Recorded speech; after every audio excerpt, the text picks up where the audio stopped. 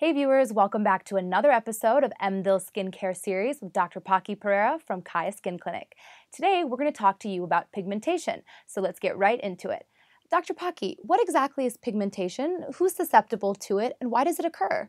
Pigmentation is essentially a collection of extra color in any particular area of the skin. So in one point it might actually be a normal color but in another part of your body it may be seen as a pigmentation. And uh, the actual term is hyperpigmentation. Uh, let's keep it simple and call it pigmentation alone. Uh, you asked who's more susceptible to it.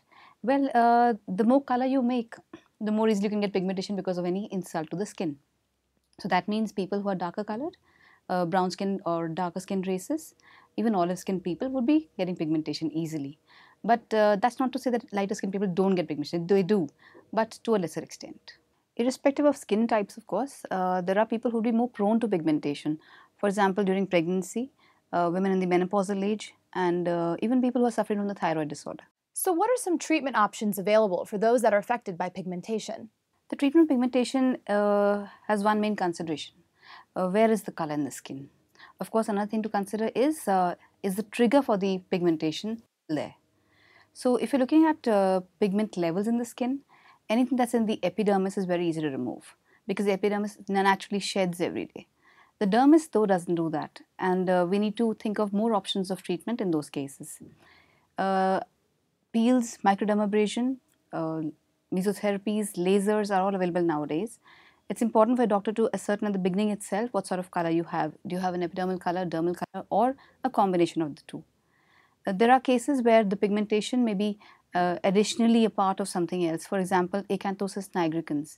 This is something that happens in people who are overweight, uh, in diabetics and uh, of course in pregnant ladies too, where you see a thickening and darkening of the skin which happens in folds of the body.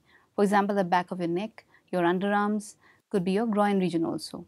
And these cases would need both lifestyle changes like losing weight or controlling your diabetes to get a proper uh, response to treatment.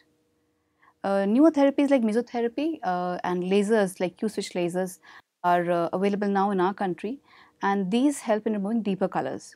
Uh, the Q-switched laser works uh, beautifully on colors which are uh, unresponsive to therapies like creams at home or even the peels. Mesotherapy is an injectable therapy which can be done with or without anesthetic creams on your skin and these work beautifully remove colors especially if you're looking at quick results but you have less time on your hands. So doctor, in your experience, what is the best way to prevent pigmentation? Well, Shilpa, the, uh, most pigmentations will need to be treated once they've occurred. But the commonest pigmentation we as Indians are looking at is tanning. And the best way to prevent this is to use sunscreen. Uh, two key points here is sunscreens need to be used both indoors and outdoors because both internal lighting and the sun can cause darkening of our skin. Also, most sunscreens don't last beyond 4 to 5 hours. So please reapply at least at lunch. So that's it for today's episode on pigmentation. Tune in to our next episode where we discuss aging and how it can be tackled. Don't forget to subscribe to our channel, and I'll see you guys later.